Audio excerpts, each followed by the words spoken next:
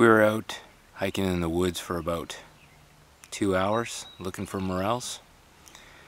And we get back here to the farm and right here in the grass we are finding all kinds of morels. We actually didn't need to leave the farm. They were right here all the time. Look at them all. Nice big ones like this one.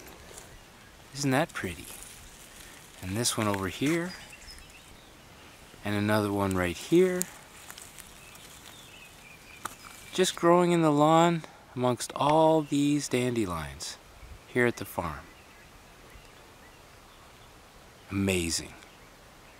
And I have to thank Michigan Wilderness for all of his videos that he's posted on how to find and identify morels. This will be my first morel feast. Hey Dixon, can you say morel?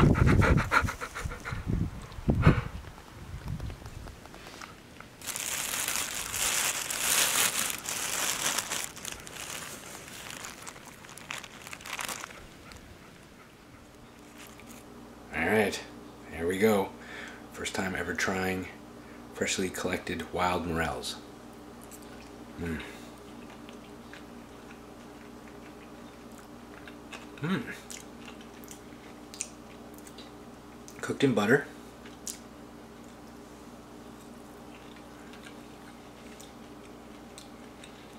Wow, they do have a really distinctive flavor. Very, very good.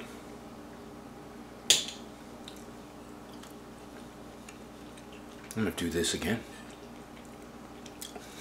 Right on, thank you. Mmm.